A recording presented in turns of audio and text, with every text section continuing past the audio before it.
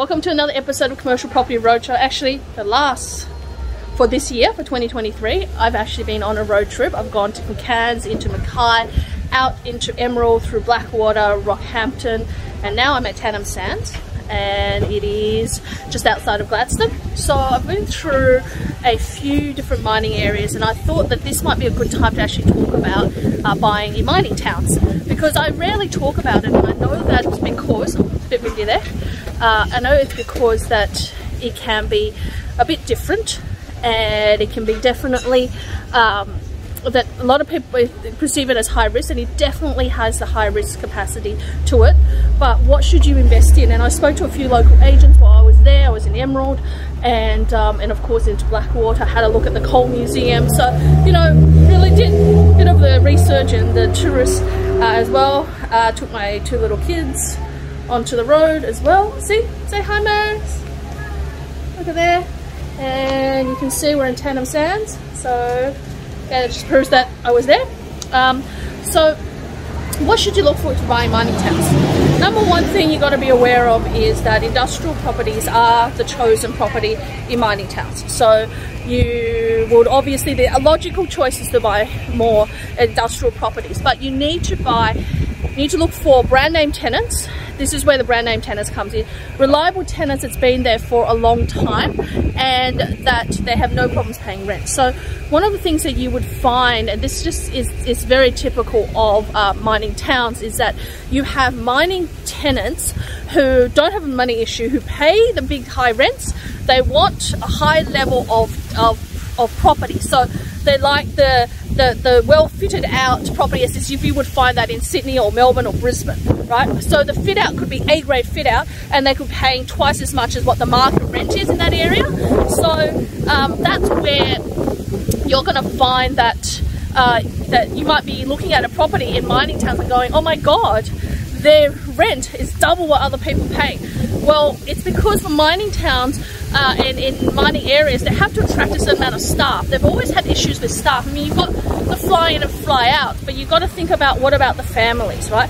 What about the women and the children that come or, or in a different town, right? And if they have um, a, a family there, or if there's females working in the office, they want a higher level of office spaces, like a class of fit out that it doesn't look like they're just living or working in a rundown shed, right?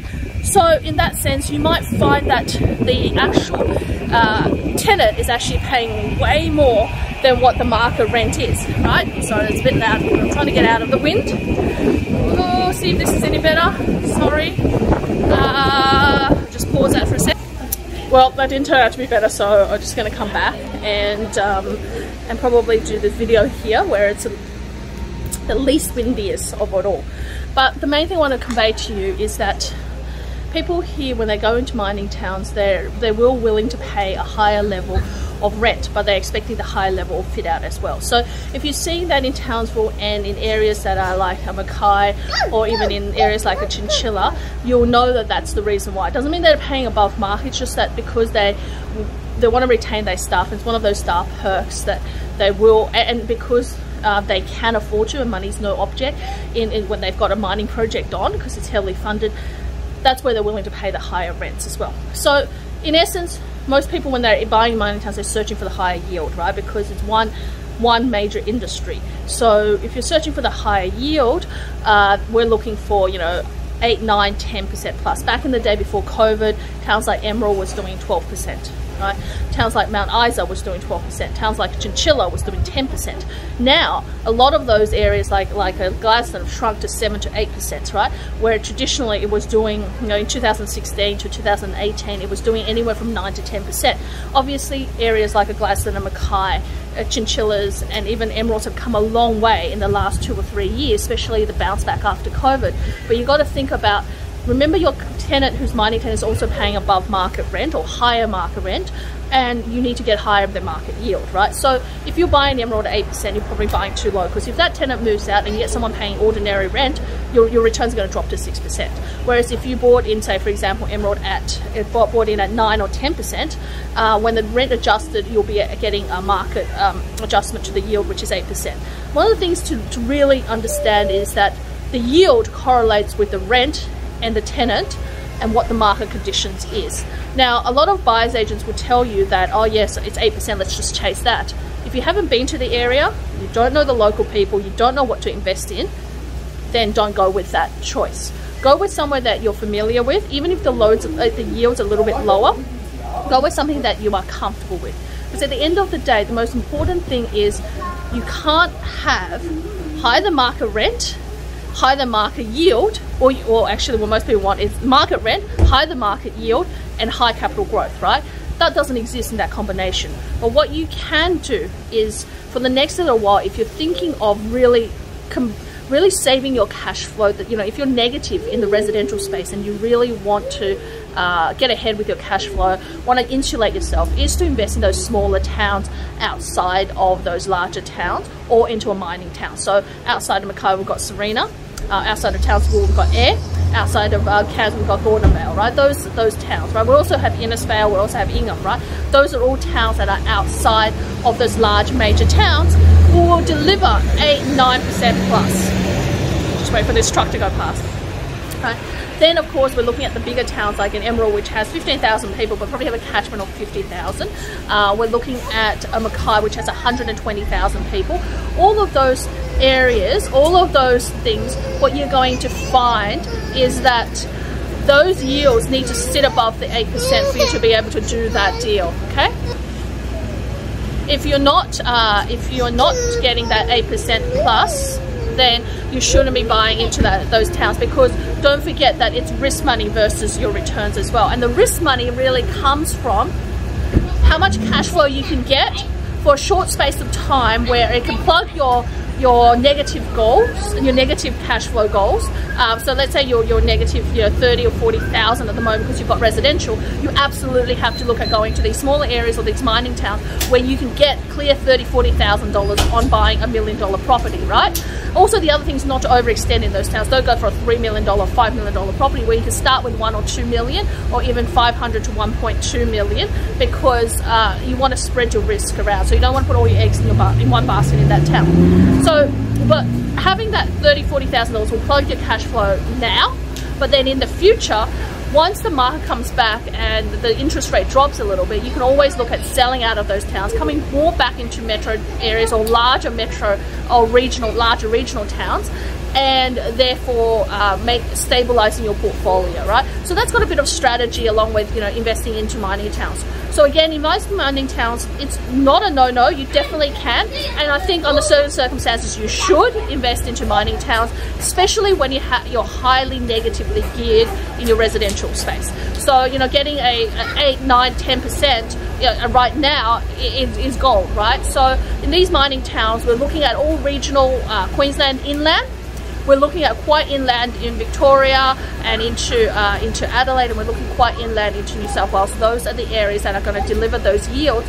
But in mining towns, we're looking at you know a Muswellbrook in um, in, in, in New South Wales, uh, you know, areas around Kempsey, which, you know, obviously it's quite flat. Obviously, we're looking at, uh, there's a lot more in regional Queensland, you know, Mount Isa's, your Chinchillas, your, uh, your, your, your Emerald, into your Blackwater, uh, even some parts of Rockhampton, and of course Mackay. Those are all sort of towards that mining run, and of course Gladstone as well. So those areas, if you get the high yield, and you know that it's only for a short period of time, you sell out and you come back, uh, that is a great strategy to move forward. So when you're investing money to have a strategy, follow the strategy, really vet your tenant, make sure you have a buffer in place in case the tenant leaves or asks for incentives. Remember that your tenants are going to be your mining kind of tenants. You want those type of tenants if you're going to be in mining town. So don't buy a fish and chip shop in a mining town. I mean, look, it's not saying no, no, but if you're getting 11 or 12%, yeah, but if you're buying it, it's better to buy a brand name tenant, one of those established tenants that are servicing the mining industry. So they might be doing mining equipment, mining servicing, they might be doing mining testing, they might be working the mines themselves, right?